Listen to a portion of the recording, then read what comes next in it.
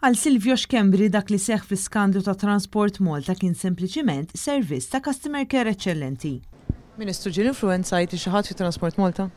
Transport Malta, jien naħseb qegħdin tipprovaw taqbdu ma' punti li naħseb jien kemm il-Ministru li kien responsabbli wieġeb kif ukoll il-Prim Ministru wieġeb. Min kien il-Ministru responsabbli?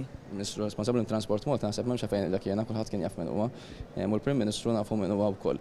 L-argument li ħa nipprovaw minn duru persuna jew le jekk ikollokx customer care service effiċjenti, iva, jien għandi customer care service effiċjenti wkoll, mhux kwistjoni li tibgħat persuna 'l hemm jew 'l hawn jew tinfluwenza d-deċiżjoni, imma il-fatt li inti jkollok customer care service li jkun viċin ukoll lill-kostitwenzi u lin-nies, Hija ħidma tal-Gvern u ħa tibqa'. Silva Schembri bħal donnu pprova jiġġustifika l-iskantu illi seħħ fi Transport Malta u l-aġir tal-Ministru responsabbli u qal li dak li kien żvelat kien biss, skont hu, spekulazzjoni tal-media. S'issa li għadni qrajt rapporti minn fuq il-media, sa fejn naf jiena. Kien hemm xhieda ġuramentata mill-Qorti, Ministru? Sa fejn naf jiena hemm fil-fatt investigazzjoni u hemm kif qed tgħid inti każ il-Qorti u allura Irridu nistennew għall-konklużjonijiet ta' dawk l-investigazzjoni tul każ biex jiġi u mbagħad wieħed ikun jista' jikkummenta. Bl-istess Ministru joħroġ għonqu għal sħabu tal-Kabinett iżda fl-istess nifs ma jikkummentax jekk il-Ministru involuv f'dan l-iskandlu ta' Transport Malta għandux jiġi sospiż jew le. Staqsejt min hu l-Ministru?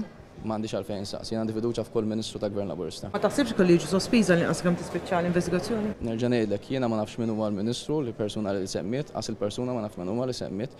Però nerġa' ngħid li kien għandi fiduċja fil-Prim Ministru f'kull Ministru. Intant skont il-Prim Ministru Roberts Abela ebda Ministru mhu qed jiġi investigat wara li faqqa' l-iskandlu l-ġdid ta' Transport Malta, skandlu li ġie żvelat fil-Qorti b'xhieda ġuramentata. Il-każ tat-testijiet ta' teorija għal liċenzja tas-sewqan kixef racket ta' korruzzjoni li allegatament kien jinvolvi tliet uffiċjali ta' Transport Malta li tressqu l-Qorti, Clint Mansueto, Raul Antonio Paċ u Philip Edrick Zammit li lkoll qed iwieġbu mhux ħatja. L-isem tal-Ministru partikolari involut għadu ma ħariġx fil-Qorti, imma l-akkużi u l-mod kif saru l-affarijiet huma skandalużi.